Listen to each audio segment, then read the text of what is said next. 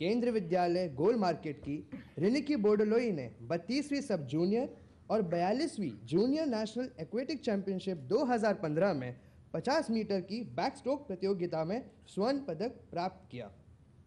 मैं आमंत्रित करता हूँ केंद्र विद्यालय गोल मार्केट की कक्षा सातवीं की छात्रा रिनिकी बोडोलोई को कि वह माननीय प्रधानमंत्री जी से आके अपना प्रश्न पूछे।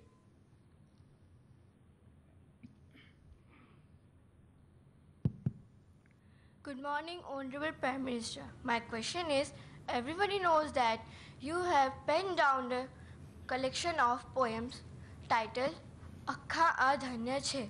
Our eyes are so blessed. What, what, uh, how do you develop interest in literature? आप कहाँ आसाम से हैं अच्छा दिल्ली में रहती हैं Yes. तो आसाम और बंगाल वहाँ तो कला बहुत होती है ये बात सही है कि यहाँ से सब लोग होंगे जितने स्टूडेंट आप में से कौन है जिसने कविताएँ लिखी है? कभी एक आध लाइन, दो लाइन, कितने हैं? जरा हाथ ऊपर करो तो। देखिए, काफ़ी हैं हैं?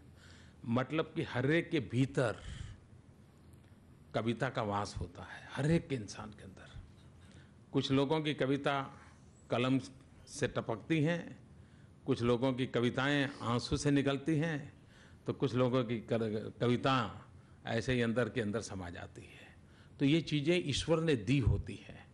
ये कोई ऐसा नहीं है कि कोई किसी एक को देते हैं, लेकिन कोई उसको ज़रा संवारता है, संभालता है उसमें से। मैं जो लिखा हूँ, उसको कविता कहने के लिए अभी तो मेरी तैयारी नहीं है, क्योंकि लेकिन और कुछ कह नहीं सकते, इसलिए कविता कहनी पड़ रही है। अब जैसे दो व्हील हो, एक फ्रेम हो, सीट हो, गवर्नर हो तो लोग कहेंगे साइकिल है। पहले चलती नहीं हो फिर उसको साइकिल ही कहेंगे।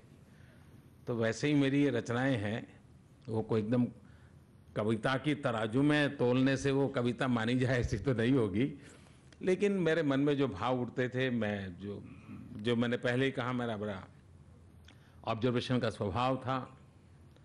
प्रकृति से साथ ज़्यादा जुड़ा रहता था। उन्हीं चीज़ों को कभी कभार कागज़ पर डाल देता था, फिर एक कभी मैंने तो सोचा भी नहीं था एक, लेकिन हमारे गुजरात के साहित्यिक जगत के एक बहुत बड़े व्यक्ति थे, वो मेरे पीछे लग गए। और फिर उनके आग्रह पर वो छप गई।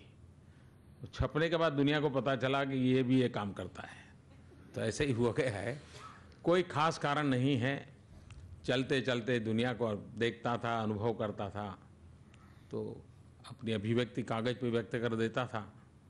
और उसी की वो किताब है। अब तो उसके शायद और कई भाषाओं में उसका ट्रांसलेशन भी हुआ है। लेकिन मुझे आप, आपने देखी उस किताब को? देखा है। ऑनलाइन अवेलेबल है। ऑनलाइन मेरी सारी किताबें अवेलेबल हैं। आप ऑनलाइन उसको देख सकती हैं। Thank you thank you.